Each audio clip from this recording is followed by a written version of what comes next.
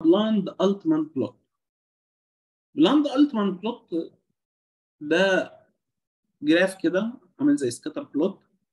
اخترعوه Bland and Altman. أعتقد من عدد سنين قريب يعني مش من زمان قوي. علشان يشوفوا ال degree of agreement بس بطريقة مبتكرة شوية. تعالوا نشوف إزاي. عندنا مثلا على سبيل المثال a hematology laboratory at a hospital would like to replace the full blood count assay with a different one. هو بيستخدم assay معين. وعايز يغير يجيب واحد جديد. طيب عملوا إيه بقى؟ جابوا عشان يطمنوا إن في إن مفيش اختلاف ما بين ال two assays بس هنا ال assay هنا numerical مش بقى مش yes و no positive و negative هنا numerical عايزين يشوفوا هل في agreement ما بين ال analysis في الحالتين ولا لا علشان يستخدموا الجديد بدل القديم ويقولوا إن النتيجة عندنا the same نفس فكرة إن عندي جهازين وإيه نستخدمهم في حالة إن إحنا نعمل correlation ما بين ال two يعني عندنا الهيموجلوبين 1 والهيموجلوبين 2 لو إحنا نعمل correlation ما بينهم هنلاقي طلع عندنا منظر ال scatter plot بالشكل ده وال correlation coefficient 0.98 إحنا ما اتكلمناش على ال correlation نتكلم عليه إن شاء الله المرة الجاية كده مع بدايات كلامنا عن ال regression لكن لو حد شاف الكلام ده perfect يعتمد. صح؟ ده بالنسبة لل correlation ما هو إحنا لو حد جه هيقول إيه؟ في ارتباط ما بين نتيجة الاثنين عملنا correlation طلع في ارتباط. الدنيا فل الدنيا فل قال لك لا استنى. في حاجة تانية في أداة تانية اسمها Bland-Altman plot ممكن تكتشف إن في مشكلة موجودة على الرغم إن في correlation عالي. ال Bland-Altman plot دي بتعمل إيه بقى؟ بتحط الآتي. بتيجي هنا في. تحت هنا بتروح جايبة لي ال average بتاع هيموجلوبين المتقاس بالجهاز الأولاني والهيموجلوبين اللي متقاس بالجهاز الثاني ده على الاكس اكسس تاخد ال average بتاعه.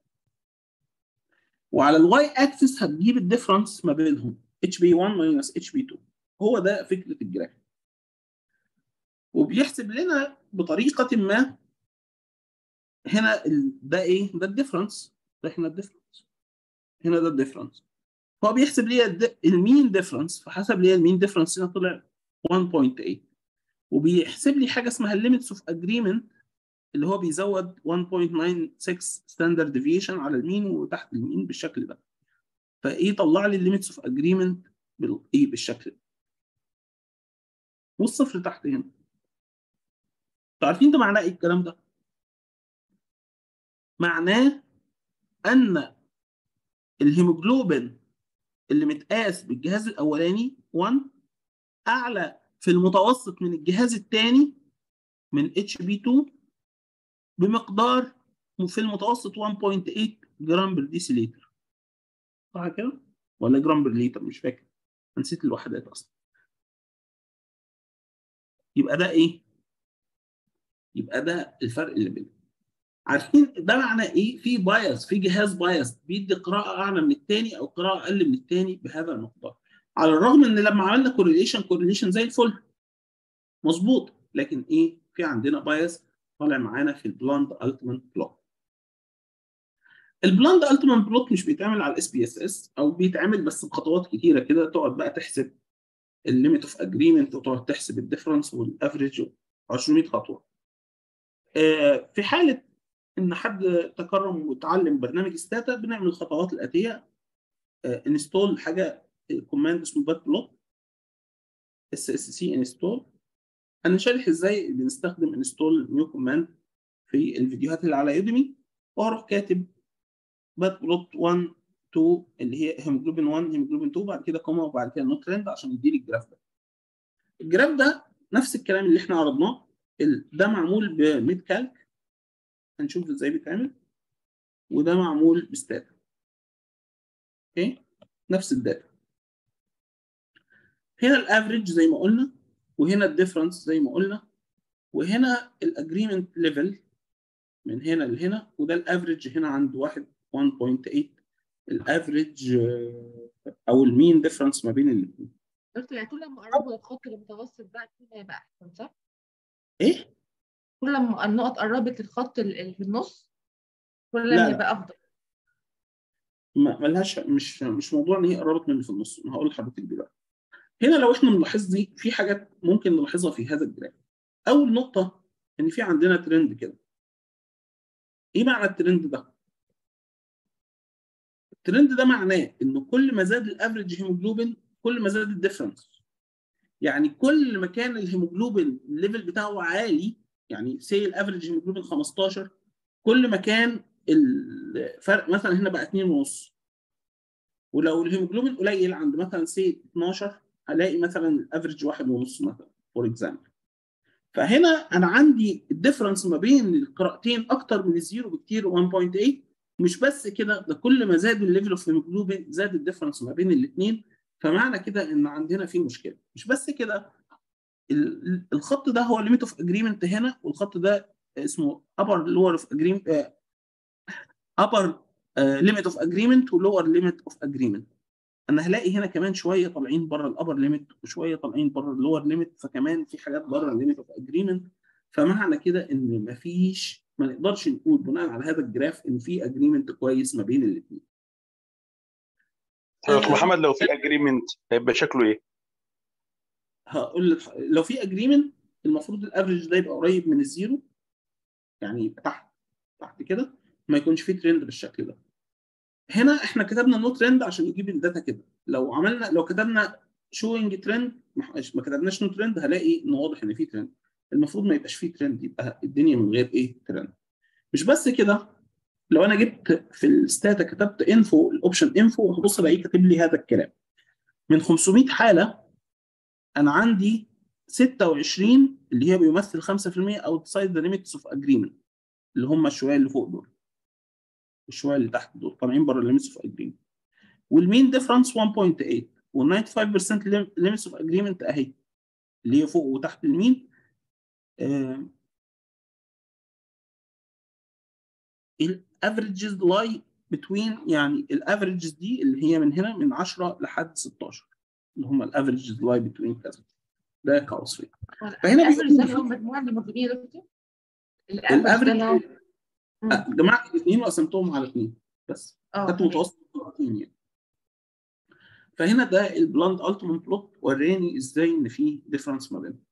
لو أنا جيت على ميد كالك statistics بعد كده هنا method حاجة حتى من اسمه method comparison and evaluation وفي عندنا Bland-Altman plot Bland-Altman plot بنختار ال first method ال second method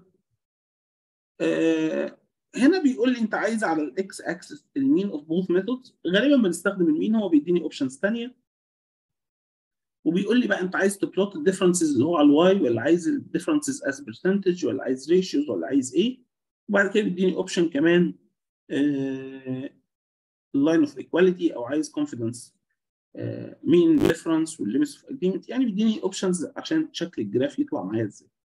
ده هنا شكل ال graph عندنا هنا ال mean وده ال upper limit of agreement وعندنا ده ال lower limit of agreement وبرده زي ما إحنا شايفين في حاجات هنا في حاجات هنا بره ال limit نفس ال graph وعندنا ترند بالشكل ده ونقدر نقول إن مفيش إيه agreement okay ده اللي هو يعني في في؟ إمتى نعم. إمتى أقول إمتى أقول في agreement وإمتى أقول ما فيش agreement أقول في agreement لو كل دول لو ما عندناش حاجات بره ال limits of agreement اللي هم دول ولو ما عندناش ترند يعني لو إحنا جينا بصينا على الترند لقيناه خط أفقي خط أفقي يعني إيه؟ يعني ال error ثابت وطبعا النقطة الأهم من دول إن ال mean يكون عند ال zero ما يكونش بال positive ولا بال negative يكون قريب من ال zero. يعني ما فيش فرق ما بين الاثنين يعني أنا لو ه comment على ده هقول إيه؟ بسم الله الرحمن الرحيم. أول حاجة ال error أو ال difference بيزيد كل ما زادت ال average كل ما زاد ال average بيزيد ال difference الحاجة الثانية إن ال mean difference أصلا 1.8 وده رقم كبير بالنسبة للهيموجلوبين مقرب من 2 جرام. الحاجة الثالثه إحنا عندنا بعض النقاط اللي إحنا على Stata قال لنا إن هم 5% outside the limits of agreement. تمام؟ هو الترند بيبان على ال على ال على MedCalc آه ما أنا الخط اللي أنا عامله ده على MedCalc تعالى نشوف على MedCalc مثلا. طب هقول لكم حاجة. تيجوا نشوف مثلا هل في agreement ما بين test 1 و test 2 في ال data اللي إحنا كنا فاتحينها دي؟ وبعد كده نشوف موضوع الهيموجلوبين. فهنروح هنا. Methods comparison وهنقول Bland-Altman plot. test إحنا قلنا test 2 و test 3 ناخد test 2 وناخد test 3 صار ان هو يجي 2 تمام؟ هنا ال mean of both methods وهنا ال difference وهنقول عندنا ال mean of 95% confidence interval بتاع ال mean و line of equality اللي هو ال line بتاع ال zero هو ده آه. الترند؟ يقصد بيه vector ده ولا ده- أعتقد الترند ده اللي هو ده. تمام؟ تمام. خلينا نعمل من غيره وبعد كده نعمل بيه. نقول okay. هنلاحظ هنا الآتي شايفين معظم ال differences فين؟ عند ال zero. بس هنلاقي بعضهم هنا بره ال limits of agreement وبعضهم بره ال limits of agreement لكن شايفين الخطوط الخط almost افقي وقريب من إيه؟ هنا ال mean عندنا 2.6 تمام؟ ال mean مش مفيش agreement أهو. مش موضوع ما فيش بقى agreement في فرق ما بين الاثنين 2.6 تمام؟ بس آه. ال 2.6 ده كبير ولا قليل؟ هو ده السؤال. هو إحنا بنقيس على scale of 20 و100 و1000 ولا بنقيس على 1 2 3 واخد بالك؟ آه تمام. هي إحنا هنا ال- ال comment ال- اللي أنا شايفه إن عندنا دول outside limits of agreement في شوية هنا وفي واحدة هنا outside limits of agreement تمام؟ لكن ما عدا ذلك نقدر نقول إن في في almost في agreement ما بين الاثنين ما عدا إن B أعلى من إيه شوية سنة بسيطة. طيب تعالوا نشوف الهيموجلوبين. ممكن أنت نشوف بس ال- الترند هنا الأول؟ قبل حضرتك قلت هنعمل مرة بالترند ومرة من غير ترند. حاضر حاضر.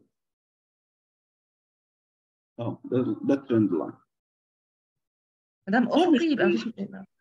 يعني almost أفقي يعني مفيش تمام. في agreement بقى. آه. لو إحنا جينا نشوف. كان فين؟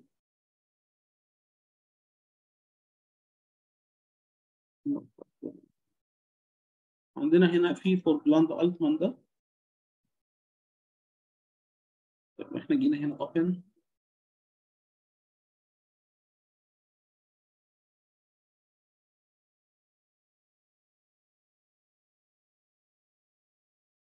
اللي هو سي اس في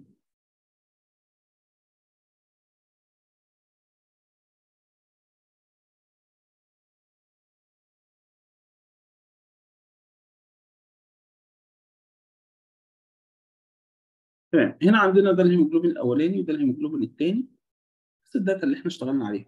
طيب تعالوا نغير في ال data. يعني نشيل منها شوية. خليه مثلا 45 ونمسح الباقي. مش عشان حاجة عشان نشوف يمكن يطلع معانا نتيجة مختلفة شوية. هو MedCalc ده برنامج بيحمله نعم؟ ال MedCalc ده بيبقى أونلاين مفتاحة يعني موجود موجود كتير على الموقع أونلاين. هشوف لو في link أبعتها لكم إن شاء الله. هو على فكرة MedCalc برنامج لطيف سهل يعني مش محتاج أي يعني مش هو محتاج. training ولا محتاج يعني إيه مجرد إن الواحد بيدور على الحاجة بيلاقيها. يعني هو أصلا مش برنامج يعني برنامج يعتبر ممكن نعمل بيه graph نعمل بيه survival نعمل بيه curve نعمل بيه حاجات اللي هي السهلة اللطيفة. طيب عشان وقتكم ما نضيعش أكتر من كده خلينا نشوف بقى نعمل Bland Altman ونشوف هيطلع معانا عامل إزاي. طيب. هنروح هنا ده ال Bland Altman أهو. نختار هيموجلوبين 1 هيموجلوبين 2 ونخلي الباقي زي ما هو ونقول okay برضو طالع عندنا إيه؟ زي ما أنتم شايفين ده الترند أهو. ال average برضو 1.8 ال mean difference وهنا نفس. نفس النتيجة تقريبا. بقى إن هنا آه طبعا عدد الحالات ال... أو هي طبعا المفروض نشوفها كنسبة. يعني هنا تقريبا خمسة أو أربعة هنا واثنين كمان فوق أو ثلاثة اللي هم تقريبا لكن طبعا الخطير هنا اللي اللي هو الترند وإن ال mean difference بعيد قوي عن ال zero بعيد يعني. لما أنا أقول له والله الجهازين دول فارقين عن بعض 2 1.8 من 10 في الهيموجلوبين أو 2 في الهيموجلوبين طبعا ده إيه؟ ده رقم خطير جدا يعني. تمام؟ ده كده إيه؟ ده حديثنا كده عن ال Bland Altman plot. آه بنشوفه أحيانا وبنستخدمه أحيانا. والمرات اللي أنا استخدمته فيها صراحة كانت الناس مبسوطة قوي سبحان الله. آه مبسوطة يعني ان إنها تكنيك مش مش مش أي حد بيستخدمها أو بيعملها أو كده يعني فكانت صراحة حاجة كويسة حد عنده أي أسئلة؟ آه، دكتور معلش هو في حاجة طب اتفضل هو في بس حاجة من المرة اللي فاتت بس حاجة كنت هو ال two way ANOVA هو لازم يبقى فيه homogeneity صح؟ يعني لما نعمل Levene test يبقى not significant صح كده؟